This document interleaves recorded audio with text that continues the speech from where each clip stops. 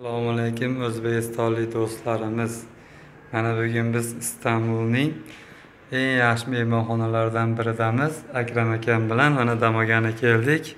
Akram aka qalay ishlaringiz yaxshi damni olyapmiz bo'lyaptimi? Dam endi yaxshi. o'rtalar biz hozir qirq oltinchi etajdamiz istanbulni mana. Ham basseynlarimiz bor pastda.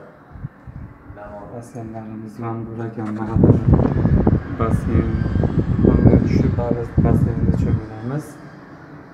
Eee, hammani kelishiga tavsiya qilamiz yaxshi joylar ekan. Sog' bo'linglar do'stlar.